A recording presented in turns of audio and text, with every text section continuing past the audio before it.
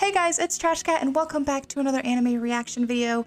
Today we're going to be taking a look at some Junji Ito content. Junji Ito is actually one of my favorite manga artists. Um, one of my favorites is probably Tomie. I read that a pretty decent amount of time ago. I think the first one I ever read was Uzumaki, of course, uh, Spiral, which I think might be his most popular one. Uh, there's also Gyo, which I think has uh, an animated movie. I think Uzumaki has a live action movie. Um, there's a bunch of like media adaptations of Ito's work out there already. I've also read some of his short story anthologies, uh, like Shiver, uh, which I'm pretty sure has the dissolving classroom in it, um, stories like that. He has a lot of new stuff out that I haven't looked at, um, but I know will definitely be worth checking out at some point in time. So, a few years ago, Toonami Adult Swim announced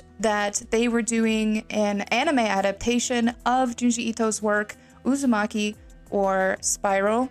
It's been in development hell or release hell basically for a while now. I know it was supposed to come out during COVID, it didn't come out, it's been delayed, all that good stuff.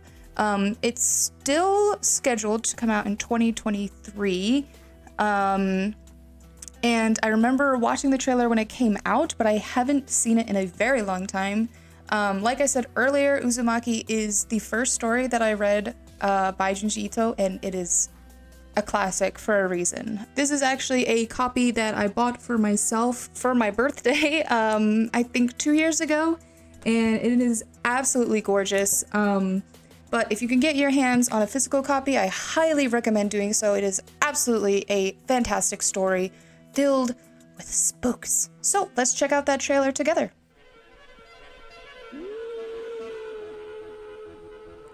I do love that it's in black and white. I, I think they're keeping that. I think it's supposed to stay black and white the whole...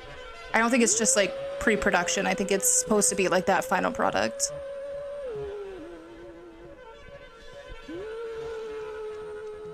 It's so unsettling already, just the music.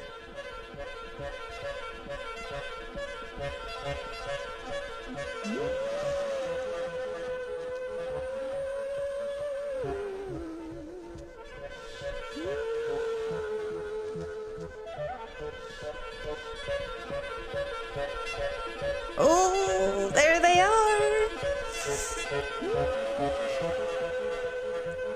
There she is, yes!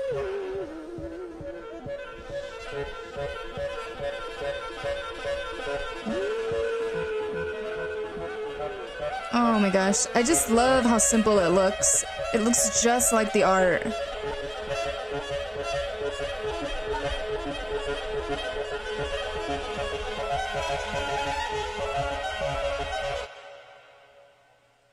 Uzumaki.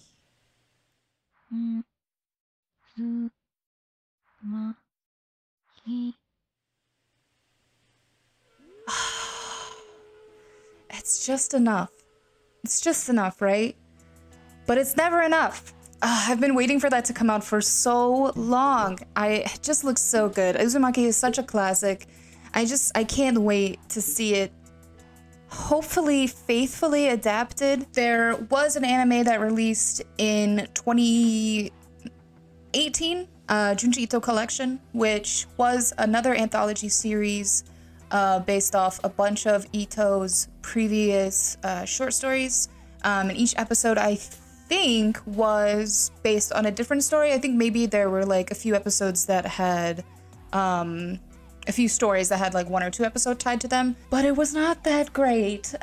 um, there were some episodes that were pretty decent and some episodes that weren't quite as decent. Um, I'm pretty sure there is a Tomie episode, there's one for the um, monster supermodel and the guy who eats nails and all that good stuff. I'm pretty sure there's a Snail Boy episode if I remember correctly, but I could be wrong about that because I just really like Snail Boy. right now, there's a new trailer out for a Netflix series adapting some of some of Ito's work, I think. I think it's supposed to be like an anthology series, although I haven't watched the trailer yet, so I don't know. I am looking forward to seeing another adaptation of Ito's work, and I'm hoping, so far, from my experience at least, Netflix has done a pretty decent job with its um, anime. Um, I'm basing that off of having seen Castlevania, which I guess isn't technically really an anime, um, Cyberpunk, uh, and I always forget Kakegurui is also uh, technically a Netflix show, um, which is also very great if you haven't seen that. So we're gonna take a look at the new content. It's called Junji Ito Maniac Japanese Tales of the Macabre. Y'all ready? Let's go. Sorry, I had to switch accounts because apparently it's age restricted and I'm not an adult on my actual account. so, alright, let's check it out.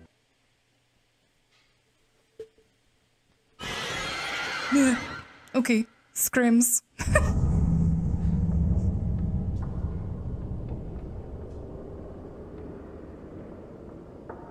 yes. I'm ready.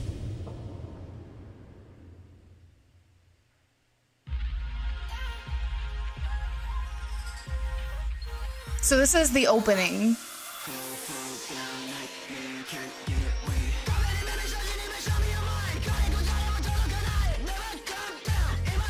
Oh my gosh.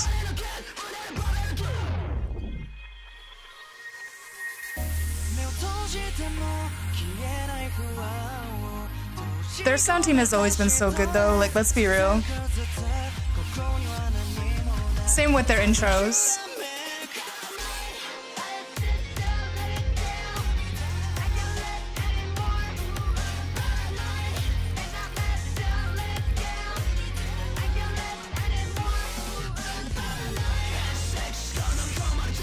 That's Tomie!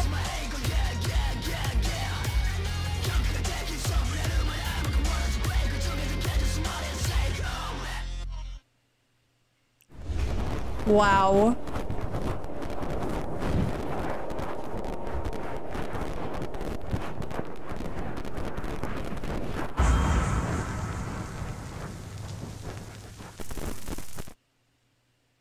Dang, Netflix. That's all you're gonna give me, Netflix? What? Okay, and then there's and then there's another official clip. So let's let's check that out.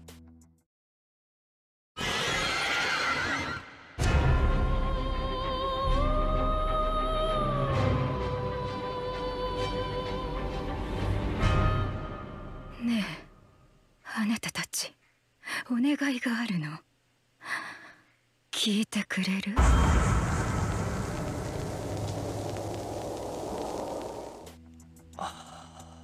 Come on, these little snippets are killing me. So I just looked it up. It's supposed to release January 2023, which is actually pretty freaking close. So I'm super excited. I want to take it with a grain of salt, um, considering I have seen the Junji Ito collection and was horribly disappointed. Um, but I'm getting good vibes from the intro that we saw, the few clips that we saw, the animation. It all looks from, I mean, it's less than three minutes of content, um, but it looks very moody and serious, and it looks very tonal, which I think is really important with Ito's work, is keeping that energy and the same tension that you get from the manga. So I'm curious to see how they'll adapt it, uh, mostly because Ito is a master of the page turn. Um, by that I mean, usually his jump scares happen at the turn of a page.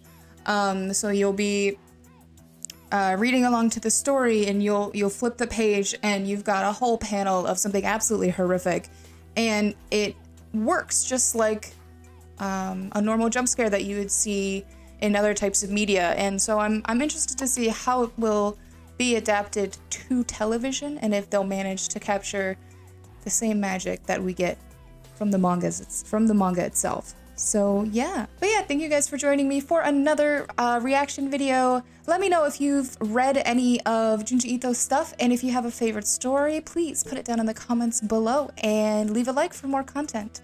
I will see you guys in the next video. This is TrashKat signing off.